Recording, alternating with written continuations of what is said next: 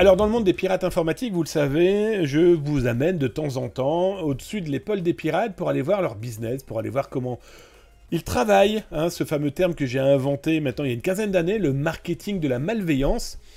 Je trouve important euh, de comprendre comment il fonctionne parce que ce marketing de la malveillance aujourd'hui montre qu'ils n'ont plus peur de grand chose et que surtout ça rapporte énormément d'argent et donc ils font de la pub, ils font des concours, ils font des jeux et donc ils trouvent des moyens de gagner de l'argent bon an, mal an. Je vous mets un lien là sur Twitch si l'article vous intéresse. Ça sera pareil là sur YouTube. Et n'hésitez pas à vous inscrire, à vous abonner. On approche tranquillement des 10 000 abonnés. Et encore un énorme merci. C'est plus d'un millier de vidéos dédiées cybersécurité euh, sur le YouTube. Allez-y, cloche, pouce, laissez des petits messages, des commentaires, des questions, des avis.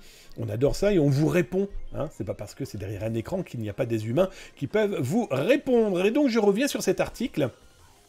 J'ai repéré un black market qui a décidé de mettre en place un casino en ligne.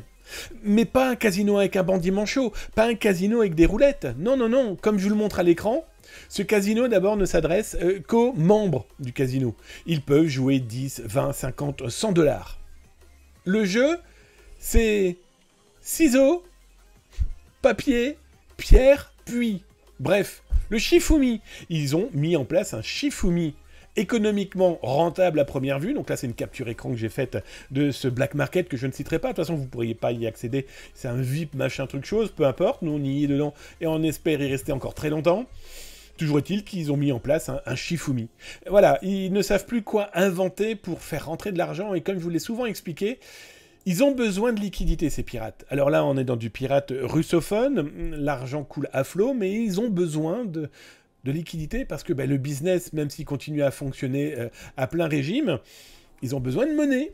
Et donc du coup, ils se sont dit, tiens, on va mettre en place un casino en ligne en mode Shifumi.